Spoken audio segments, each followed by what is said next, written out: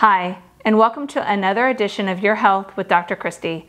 My name is Dr. Christy Risinger, and today we're going to discuss the question Do I really need to wear a mask or face covering? Well, the short answer is yes. And I was slow to come to this conclusion, but now I've seen very convincing data, and I want to say that I was wrong when I first came out with discussions on not wearing face masks. I'm going to go through the data that really helped convince me that face masks or face covering really work. Let's first talk about the two hairstylists in a Missouri hair salon. These two hairstylists had symptomatic COVID 19. However, they didn't know that they had COVID 19 and continued to go to work. Between the two of them, they saw 140 clients. But the interesting part of this is that they always wore a face mask, and so did their clients. After it was found out that these two hairstylists had COVID 19, the health department contacted all of their clients.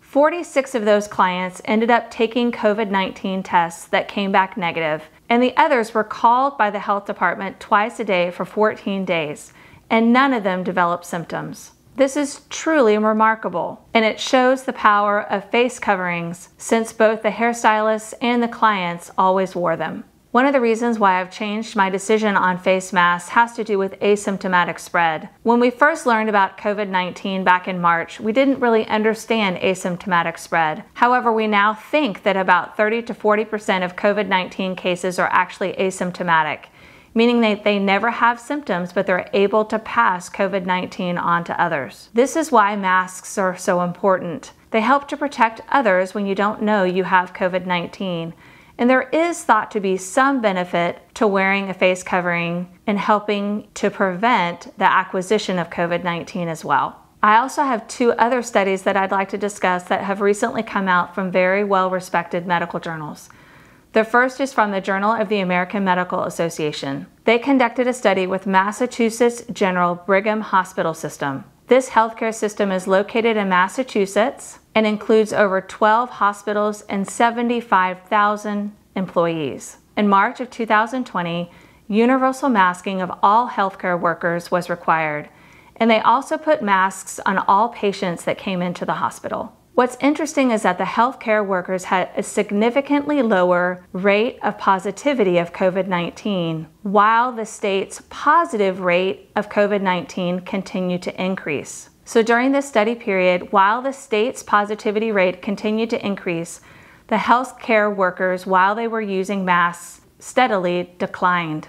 This study suggests a correlation between wearing masks and the rate of COVID 19 positivity. The next study was in The Lancet. This study looked at over 172 studies that included over 25,000 people. These were studies that looked at SARS, MERS, and COVID 19. The study included physical distancing and the use of masks. After analyzing all 172 studies, they determined that there was an 85% relative risk reduction with patients that were wearing masks from contracting SARS, MERS, or COVID 19. And lastly, this is not a study that was done in a medical journal, but was done by a large financial institution, Goldman Sachs. Their own independent analysis of the data showed that masks cut the rate of transmission by 25%. And they also predicted that cumulative cases would grow by 17.3% without a mask mandate, but only by 7% when a mask mandate was in place. Their analysis also stated that cumulative fatalities would grow by 29% without a mask mandate versus 16% with a mask mandate. In their final conclusion, I'll read here expanding community masking by 15% could prevent the need to bring back stay at home orders that would otherwise cost an estimated 5% of gross domestic product or a projected cost of $1 trillion. So, even if you're unsure about the medical benefit of wearing a mask, surely some of the Goldman Sachs data can help you with the financial benefit of wearing a mask. I also read a really wonderful article in the Gospel Coalition by Brett McCracken. And in that article, he really grieved the politicization of mask wearing, and I do too. Why does this have to be a political issue?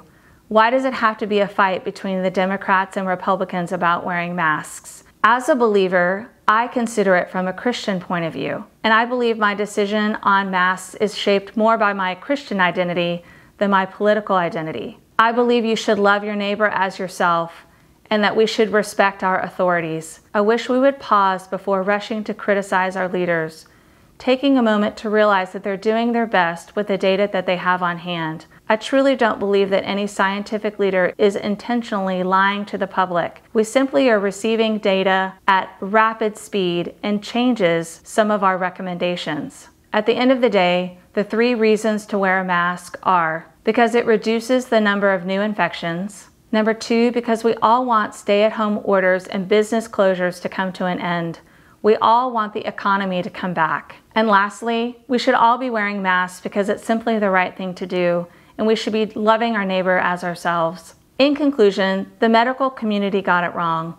We should have recommended masks or face coverings from the very beginning. We simply didn't know, but now we do. Let's all do better. I encourage everyone to wash your hands, stay physically distant from one another, and wear your mask. Thanks again for joining me.